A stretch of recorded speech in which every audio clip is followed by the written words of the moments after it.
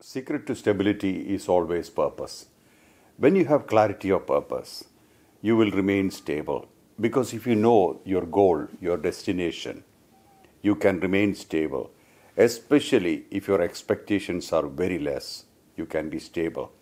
Usually, the problem is we have tremendous expectations. And if we don't reach those expectations, if we don't, if our expectations are not fulfilled, we have disappointments.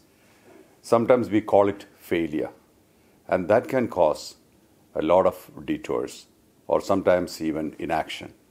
So, stability is number one, it's an attitude, two, it's clarity, and third, it's determination to reach where you have to reach. When your purpose is very clear, all these things come to you.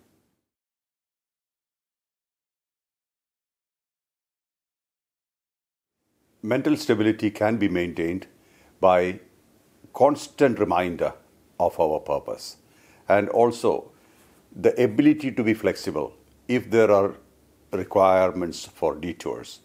So we, we got to be flexible where we have to, or we have to be flexible when there are roadblocks or when there are detours, and keep focusing on the goal and the destination. In my case, I took a decision to raise the awareness of the mankind of this generation to a different level where they can express and experience compassion, kindness, selflessness, non-violence, and stuff like that.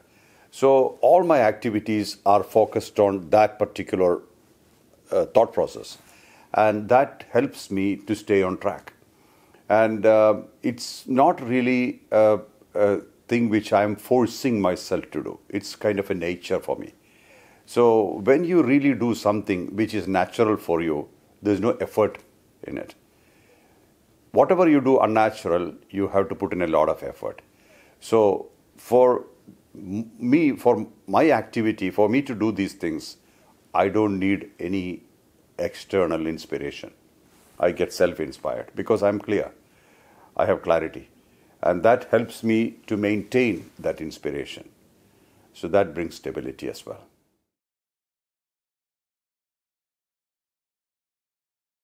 Uh, there are only two ways you can face any situation. One is through acceptance, other through resistance. Resistance is not really a solution. Resistance means you are resisting to a situation, and in that bargain, you are postponing it for a certain other date. I would say that through acceptance or through awareness, through understanding, okay, this situation has come, I have these options to accept it go around it or over it and reach the next level. Being fluid, being like water, has a lot of value here.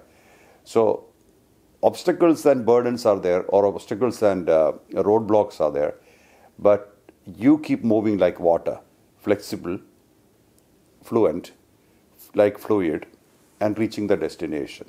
So, if we have clarity of purpose, all this comes handy if you don't have clarity of purpose, then all these are burdens. So the primary thing about about this journey called life is to maintain flexibility, and the more more flexible you are, the less affected you are from with the with the with the, the wears and tears of existence.